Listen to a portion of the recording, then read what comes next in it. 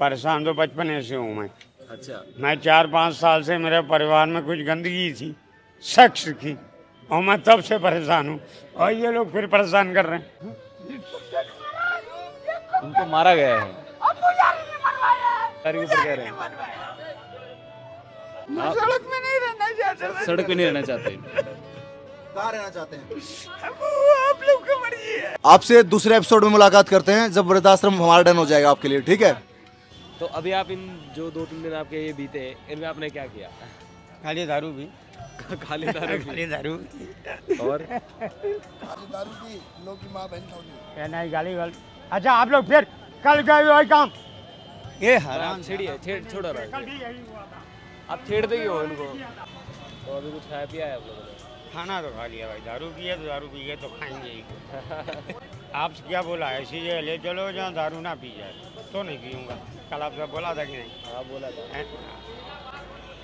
जब घर माँ बाप याद आते हैं भाई बहन याद आते हैं। रात में रोज़ रोता हूँ मैं। रात में मैं रोज़ रोता हूँ। तो फिर अभी आप एकदम से इतनी दारू क्यों पीने लगे? अब क्या बताएँ ये चीज़ ये ऐसी है भाई। इसके लिए नहीं बोल सकता। मैं भी इसके लिए बोल सकते। नहीं बोल सकते। कभी खुद को रोका है? मतलब कि चलो नहीं पीते आज नहीं पीऊँगा मैं। हाँ कई दिन होते हैं नहीं पीता। मोहब्बत तो गई। सच में आपने कभी मतलब प्यार किया था किसी से? हाँ एक थी।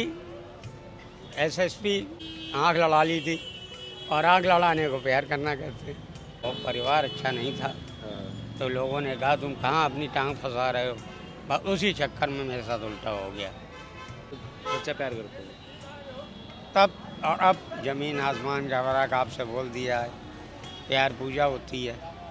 प्यार सेक्स नहीं होता।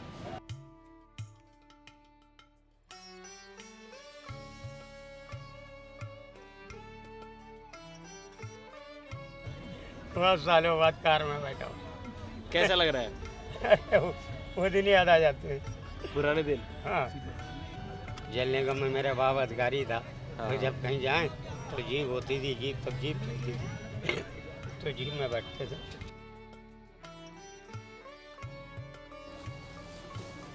थैंक यू भैया। चलिए चलते हैं। आ जाइए।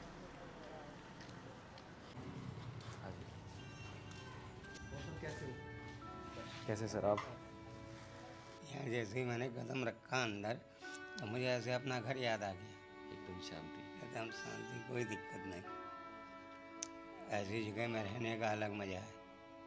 तो यहाँ पे अब आप रहोगे तो आप सबसे पहले क्या चेंज करोगे अपनी ज़िंदगी में? हमने आपको बता दिया है। शराब छोड़ दोगे? हाँ, सबसे पहला काम तो नशा बंद होगा। अरे वाह। शराब को त्यागो नशे से दूर रहो। सेहत पे ध्यान रखिए। फल खाइए। अच्छा खाना। इतना फल खा पाऊँगा मैं। बिल्कुल खा पाओगे। अच्छी बात देखो यहाँ मनोरंजन के लिए आपके लिए टीवी लगा रखा है। टीवी देखो न्यूज़ देखो। ठंडे पानी के लिए फ्रिज है। फ्रिज है। गर्मी लग रही है। कूलर है। है गद्दे हैं। है। इतनी अच्छी गवर्नमेंट ने सुविधा दे रखी है। आप लोग सुविधा का लाभ क्यों नहीं लेना चाहते? बताइए। ये आज पहली बार देख रहा हूँ मैं। अच्छा यहाँ पे आप पहली बार आए हैं। पहली बार आया हूँ। आप लोगों को जानकारी नहीं है बिल्कुल? नहीं। और आपको कोई बताता भी नहीं है? बताने वाला कोई नहीं है। अच्छा आप अपनी फैमिली को कोई मैसेज देना चाहते हो अपनी हमने तो बता दिया अपनी बहन से मिलना चाहता हूँ। मैं उसको अपना एड्रेस बताना चाहता हूँ कि तुम आके मिल लो मुझसे एक बार। आपकी बहन का नाम बता संगीता नागर डॉक्टर संगीता नागर। डॉक्टर संगीता नागर। जैसे घर का हमारा बेड अच्छा जैसे हमारा बेड ऐसे ही था। अच्छा। निवाड़ की पलंग थे ऐसे ही मोटे गद्दे थे और ऐसे ही कंबल थे। या फिर ठंडी ज़्यादा हो तो रजाई थी। क्या बात है। घर तो याद- अभी आपको घर याद आ गया एकदम हाँ। है ना? आपको रहना दे रही है खाना दे रही है सब दे रही है फ्री ऑफ़ कॉस्ट और साथ साथ एक ऐसे इंसान को आपके साथ रखेगी जो हमेशा आपका ख्याल रखेंगे आपके बारे में पूछते रहेंगे आपकी सेहत के बारे में। तो सर आप अपना नाम बताइए। अरुण शुक्ला। अरुण शुक्ला। ब्राह्मण। मौजी मैं गुजराती ब्राह्मण ये अग्नि कैसी खुशी है? आप हाँ, हाँ।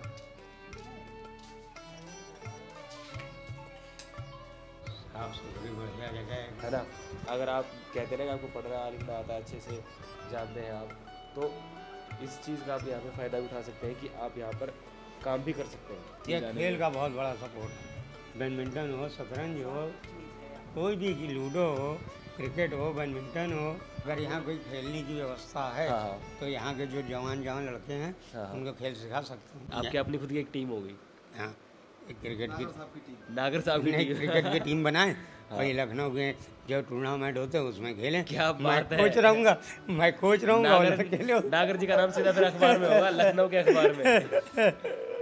तो बस हम आपसे यही चाहते हैं कि आप यहाँ पर रहें अच्छे से ज़िंदगी बिताएँ एक नई शुरुआत करें। आप लोग खूब बड़े बढ़िया आदमी हो। दिल से खुशी हुई मिल के आप लोगों से क्योंकि आज युग में आप जैसे आदमी नहीं मिलेंगे।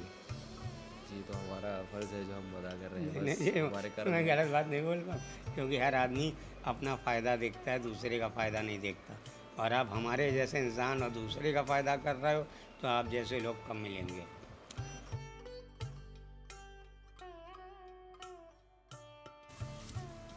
नागर जी का बहुत बड़ा दिल है सच में। सच में? दादा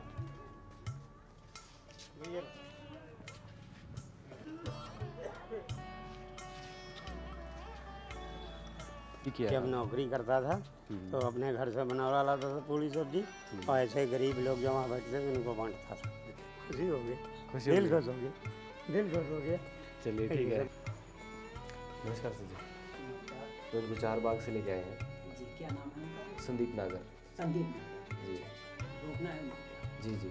कहाँ चार बाग किस स्थिति में थे? कहाँ पे पड़े हुए? चार बाग ये थे मेन स्ट्रीट पे मतलब सड़क पे सोते थे वहीं पे रहते थे। तो इनके पास घर नहीं था काफ़ी दुखी भी हैं और तो अभी जब इनसे बात की तो ये कहते थे कि मुझे रहने के लिए अच्छी जगह चाहिए। अगर मिल जाएगी तो मैं नशा भी छोड़ दूँगा। तो आप इनका नाम लिख लीजिएगा। बिल्कुल बहुत अच्छा नेक कार्य है आप लोगों का भाई साहब जो है लेकर एक दूसरे की मदद। हम तो यही संदेशा देना चाहते हैं सबको कि हर इंसान की हर इंसान मदद करे। और बीच बीच में हमारे जैसे भी इनसे मुलाकात होगी हम जैसे भी टाइम लगता है हम आते नहीं हैं नहीं बिल्कुल वेलकम है हमेशा ये। हेलो नमस्कार दोस्तों मैं हूँ आपका होस्ट सचिन और जैसा कि आप सबने देखा कि संदीप नागर की ज़िंदगी कैसी थी तो हेल्थ फाउंडेशन की टीम ने उनको एक सेंटर हाउस भेजा है जहाँ जाकर वो खुश हैं। और आप सबसे बस यही अपील है कि प्लीज़ आप इस वीडियो को ज़्यादा से ज़्यादा शेयर कीजिए ताकि उनकी बहन तक ये वीडियो पहुँच सके और वो अपने भाई से मिल सके। अगर आपको हमारा ये काम पसंद आया हो तो आप हमें किसी भी अमाउंट से डायरेक्ट सपोर्ट कर सकते हैं। लिंक आपको वीडियो के डिस्क्रिप्शन मिल जाएगा। तो मिलते हैं अगली वीडियो में, तब तक के लिए धन्यवाद।